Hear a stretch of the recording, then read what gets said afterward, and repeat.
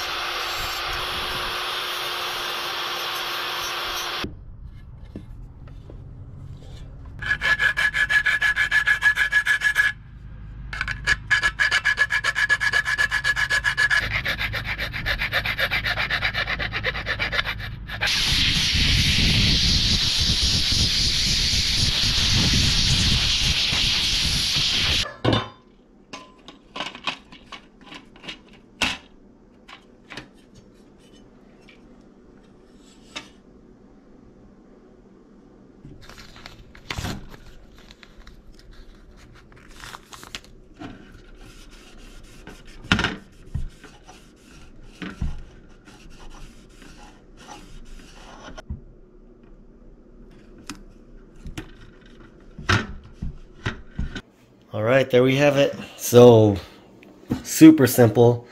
This is probably a lot easier than even chipping an ECU.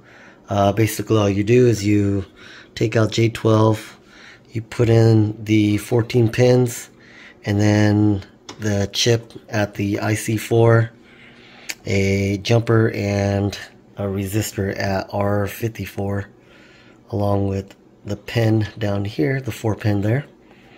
And that's pretty much it. The hardest part was just cutting that out. Put a little bit of uh, the seals on the side so that it looks all nice and clean. So when it gets, when you close the top, it'll look like that.